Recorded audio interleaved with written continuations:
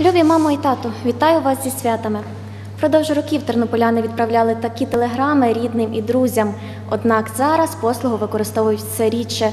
Невдовзі ми і зовсім не матимемо змоги відправити телеграму. За даними Укртелекому, у 2015 році українці відправили 350 тисяч телеграм. Минулоріч 100 тисяч. Цього ж року близько 40 тисяч. Через таке суттєве зменшення попиту втрати оператора від телеграфних послуг становлять десятки мільйонів гривень. Тому компанія прийняла рішення більше не надавати цю послугу. Зважаючи на розвиток електронних каналів комунікації, розповсюдження використання цифрового підпису, суттєво зменшилась кількість відправлення телеграм. Так, цього року відправили в 5 разів менше телеграм, ніж минулого.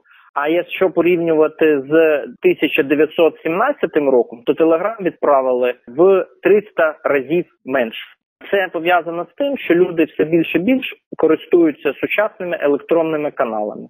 У зв'язку з цим, у відповідності до чинного законодавства України, Укртелеком за три місяці повідомляє про припинення надання послуг телеграфного зв'язку для всіх категорій споживачів.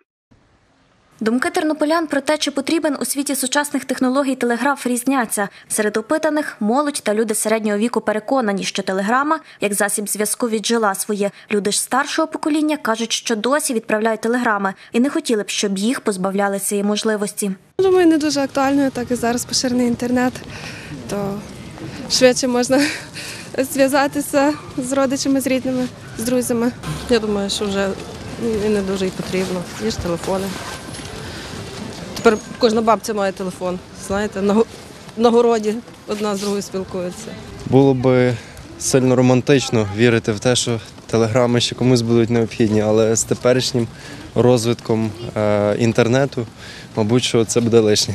Певно, що потрібно. Не всі розуміються, так і старі баби, як я, вони не розуміються в тих тих вово, щось той вово. Так що їм треба телеграми.